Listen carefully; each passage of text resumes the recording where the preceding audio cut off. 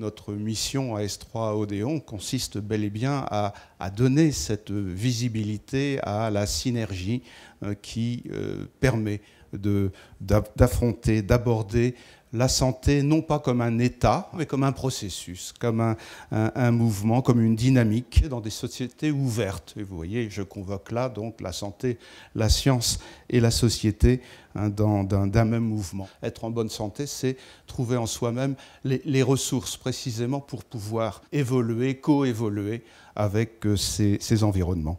Et de, la même manière, la science n'est pas un, corpus de connaissances fermé que, euh, dans laquelle nous, irions puiser, mais c'est euh, bel et bien le, la, mise en contact avec des expériences, avec des argumentations, avec des, des publics. Alors S3 Odéon, c'est pour nous l'utopie, peut-être l'utopie à réaliser d'un savoir euh, qui, permettrait aux citoyens eh d'entrer précisément dans, les perspectives nourries par les, par les chercheurs.